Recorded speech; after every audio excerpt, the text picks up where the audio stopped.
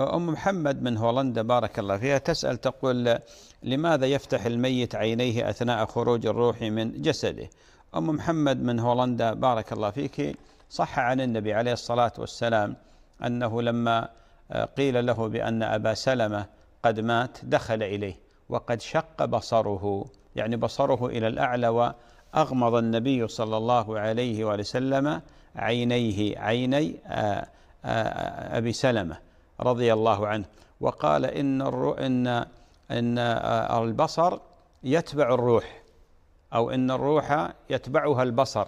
والمعنى أن الإنسان حينما يموت الملائكة تستل روح الإنسان كما يذكرون من قدميه وتبدأ بالارتفاع تبدأ بالارتفاع بمعنى تموت هذه الأطراف وهذه الأعضاء ثم ثم يخطف آه، تخطف الروح من جهة البصر. ولذلك تجد تجدين بعض الناس مثلا آه، قد شخص بصره إلى الأمام وبعضهم قد شخص بصره إلى الأعلى وبعضهم على اليمين وبعضهم على اليسار.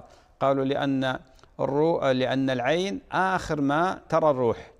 فالعينان تريان الروح وهي تخرج سبحان الله العظيم. فتثبت على هذه الحالة. هذا والثابت عن النبي عليه الصلاة والسلام. بارك الله فيك.